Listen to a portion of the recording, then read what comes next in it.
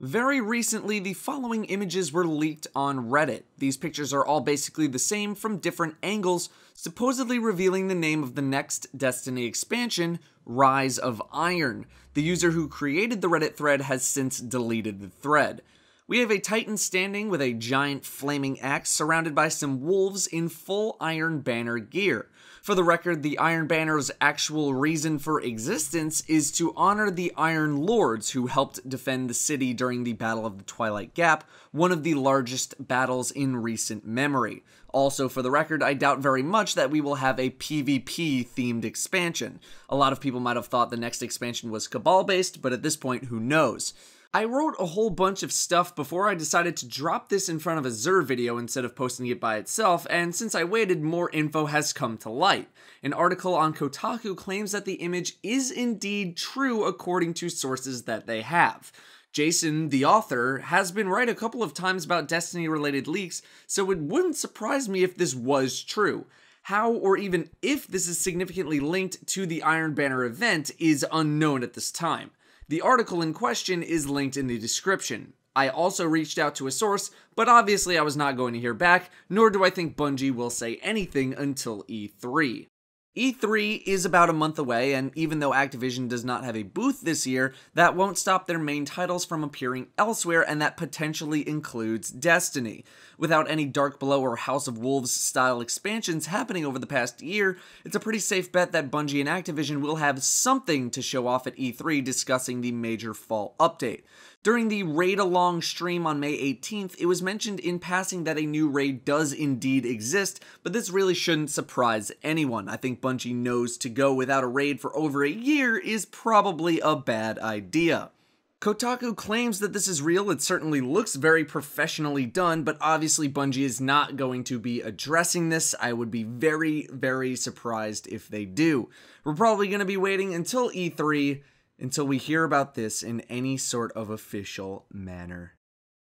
Hello, everyone. Welcome to Xur week number 89. He is over by the speaker, chilling by the railing. Let's see what he's got.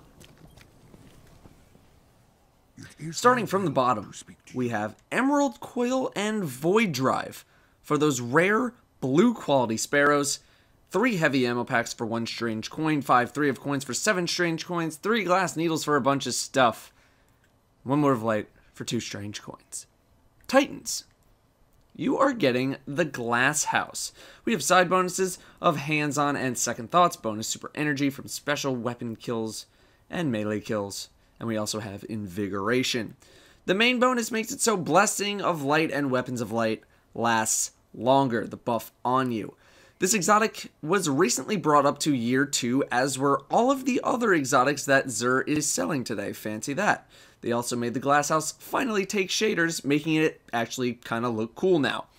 I probably don't give this helm enough credit, but in King's Fall, it's not a bad pick. In fact, if you're running Defender Titan, it's probably a top 2 or top 3 pick. The reason why I'm not super big on it is because while longer lasting buffs are good in King's Fall and are pretty usable there. There are very few times where you are away from a Ward of Dawn long enough to make this important. On Golgoroth, it's great, but on a lot of other fights, it's not hugely necessary, it's just kind of a nice little side bonus. In stuff that isn't the raid, I really don't think it's greatly needed, but once again, it's, it's not a terrible choice. Hunters, you're getting Khepri's Sting. We have side bonuses of Switchblade and Impact Induction, bonus grenade energy on those melee hits. And we have Hand Cannon and Fusion Rifle reload speed bonuses. The main bonus makes it so crouching turns you invisible after a short time, melees from behind deal 4 times the damage when invisible, and also leave damage over time. These are a unique set of gloves with a cool bonus that will rarely ever be useful. It takes a lot of setup for something without a huge amount of a payoff. For anything that will die in one stab, you probably could have killed them with one shot or one sniper shot. For anything that doesn't, you probably shouldn't be that close to it in the first place because it's just going to turn around and slap you in the face. It's a fun gimmick exotic, but for actual use in important activities, I don't really think you need to bother, but you know, it's fun for heroic strikes and, and general goofing around.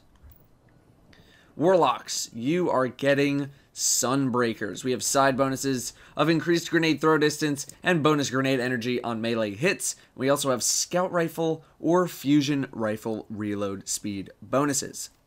The main bonus has your solar grenades stick around for longer while also giving you an extra solar grenade. Well, now that you get two grenades with this, they're definitely better. If you can land these solar grenades on bosses in PvE, they take for a lot of damage. I think people can underestimate how much damage that long-lasting solar grenade can really do, because it, it adds up. In PvP, firebolts are probably still the most popular, but if you land a Viking Funeral Touch of Flame solar grenade right on someone, they're going to melt pretty quickly, and having two grenades ready to do that is really nice.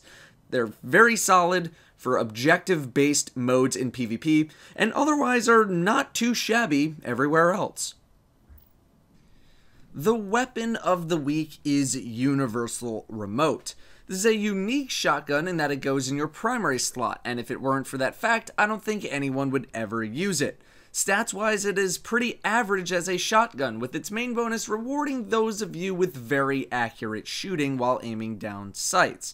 The reason it is used in PvP is because you don't need to worry about ammo at all since it's a primary. Other shotguns are way better than Universal Remote from a stat perspective for PvP, but Universal Remote is definitely the most accessible in that ammo is very plentiful. This plus a sniper gives a fun but extreme PvP loadout.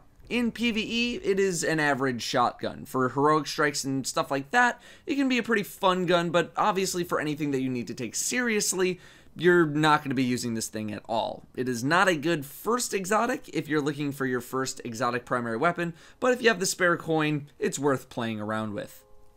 The Legacy Engram of the week is body armor that's year one armor at year one power levels. If you find something that is in year two, it'll unlock at your year two blueprint vendor. That is going to do it for Xur week number 89. I got something kind of cool coming to you guys tomorrow. Something that's going to hit those nostalgia buttons pretty hard. Otherwise, been taking it easy. That Rise of Irons, Rise of Iron picture was uh, something, huh? Something to stir people up. Always nice to get a little hype going, even if it was, you know, something unofficial or leaked or whatever hopefully E3 is, is going to have some more. But, you know, seeing that picture the other day was, uh, was something very unexpected. anyway, that's going to do it for me, guys. Thank you all very much for watching. Have a great weekend, and I'll see you all next time.